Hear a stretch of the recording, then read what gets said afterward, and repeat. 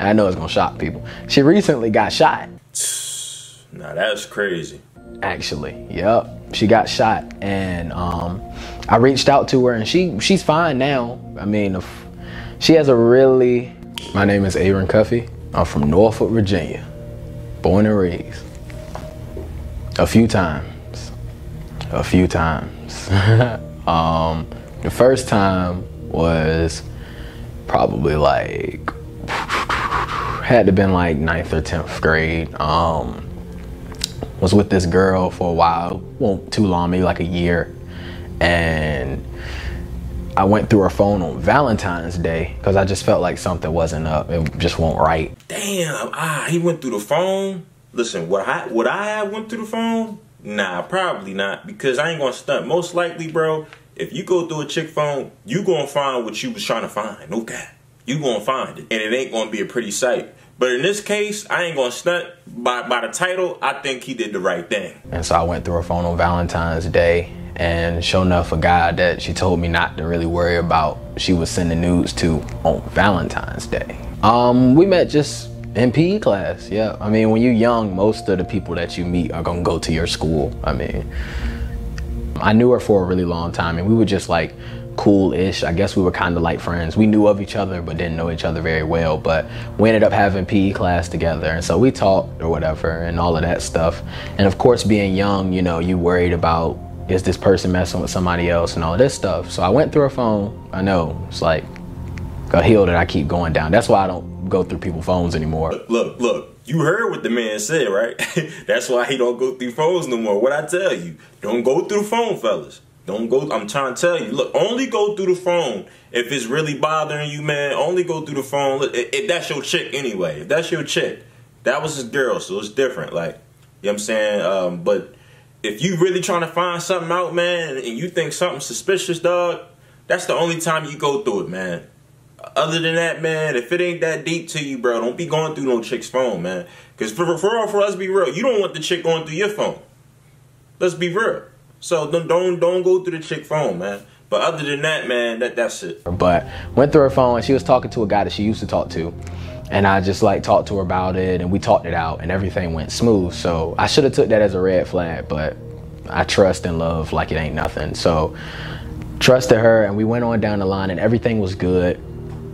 And so then kind of like towards the end of our relationship, well, it was the end of our relationship, she broke up with me randomly. She just told me that she didn't want to be with me anymore. We were doing good, weren't arguing, anything like that. We were doing fine.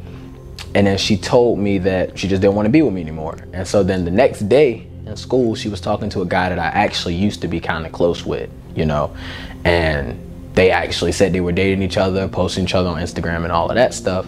And then they argued a lot and I think it was because the relationship was kind of forced. She just wanted to, you know, leave me and go mess with him or whatever. Bro, that's crazy, man. That motherfucker was a 304, man. She had two of them niggas. She was juggling two of them niggas, man. But guess what, though? She liked the other niggas so bad, man.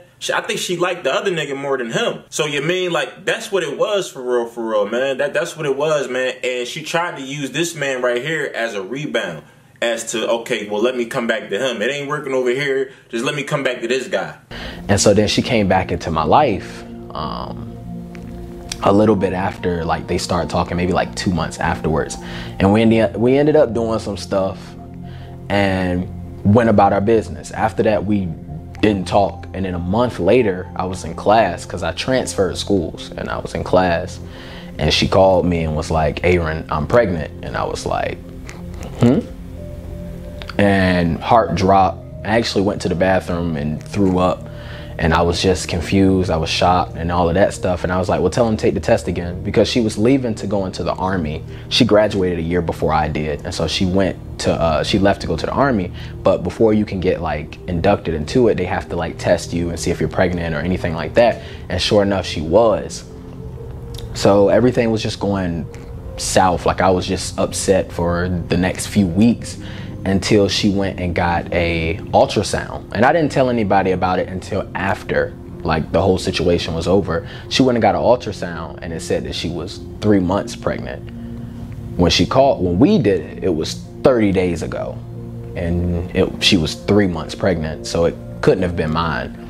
Oh, oh shit. Bro, it was three months ago, bro. Three months. You ain't had sex, bro. Imagine that shit. You ain't had sex with this girl um, until what? Last month. You was you had sex with her last month. Man, this chick was just running around, man, just raw dogging it, man. She was just raw dogging these niggas, man. That's crazy, man. That's that's scary, fellas. Take notes, man. This shit that strap that thing down there, bro. Real talk. Strap that shit up, man, because man, this will, bro. I ain't gonna stunt. There's a lot of niggas out here that's carrying um, other niggas' seeds, man. Real talk. And so time goes on, and I told her that I mean I would help her in any way that I could besides taking care of the baby because it ain't my baby. Oh yeah, he better than me. he better because I ain't helping nothing now nada. And after that, she ended up having a miscarriage and came back to me because the guy that she wasn't really the guy she didn't really like, but that was actually going to be her baby daddy. She she didn't really like, you know, and so she came back to me and again, I love a lot. And so she came to me talking about how upset she was and how dumb she was for leaving me and all of that stuff. So basically, she was just trying to see if it was greener on the other side. And so we continued to be friends for a while. I ain't gonna stop, man. I know dude got a good heart and all, but man, I, ain't gonna. If it was me, man, this this wouldn't be me, man. This some beta shit, man. No cap. This is some beta shit, man. y'all friends. Why, why are y'all friends, man? This girl was going back and forth, man. She playing you. She was playing you, dog. And then when things got rough, she tried to come back and use you. That's all that was, dog. But that's not you. You not being aware of female nature, dog. That's what happens. And then I met my current girlfriend, and I just told her that we couldn't talk anymore. Like, you know, because I wanted to be happy, and I didn't want to be put through the same stuff that she put me through at first. Man, you better not put yourself back in that goddamn situation, nigga. if you do, man, you, are an idiot. You're an idiot, man. You did. You haven't learned your lesson. You know, rough. I mean, it was. You know, I as I got older, I learned how to not trust people as much and not, you know, stay keep my distance. You know, I trust people to a certain extent until the trust is broken, but it just it just sucked. But I know I would definitely put myself in that situation again. Cause I, when I love, I love hard, and if I get heartbroken, it is what it is, you know. Time, a whole lot of time, just time, time, time, you know. And with that, you know, I've never been a type that coped with anything like a substance or with other people. I never used people to help me get over something. You know, I just really just waited it out and thugged it out, you know. And that was it.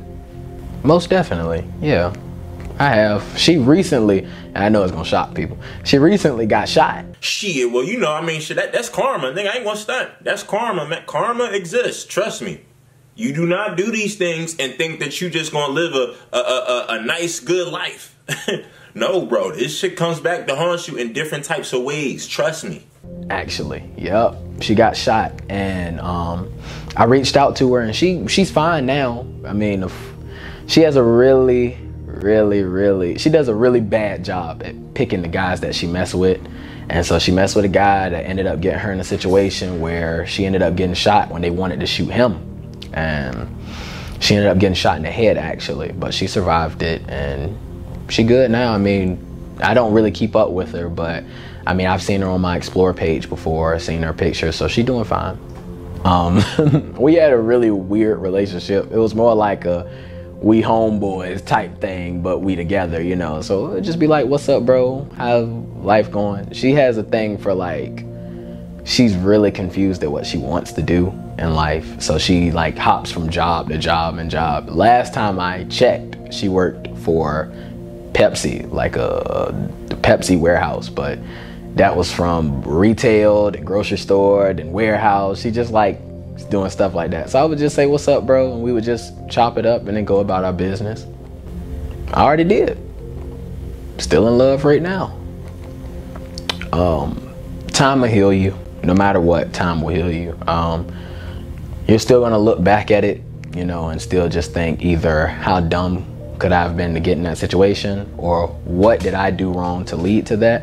But most times it's not you, it's the other person. But self-reflection is important. So it's it's okay to think that you're the reason why stuff like that happens. But nine times out of ten it's the other person. You know? So just just wait it out, thug it out. It's gonna hurt. It's gonna be painful, but in the meantime, you know, just try to pick up something, a hobby, something that can really take your mind off of it. But at the end of the day, embrace it because it's gonna happen no matter what. And you know, just keep pushing through it. Time gonna heal it.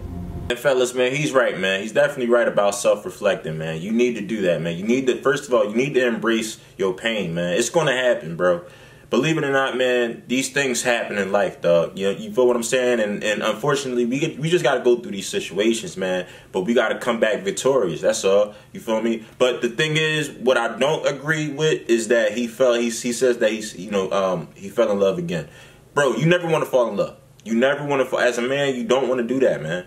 You don't want to do it because what that means is that you're falling in love with the broad, but you're not falling in love with your purpose. You're not falling. You're not falling in love with that. You got to fall in love with your purpose before anything. Before anything, bro. You can love the. Now I'm not saying you can't love your chick. You can love your chick, but falling in love is different, bro. You don't want to fall in love.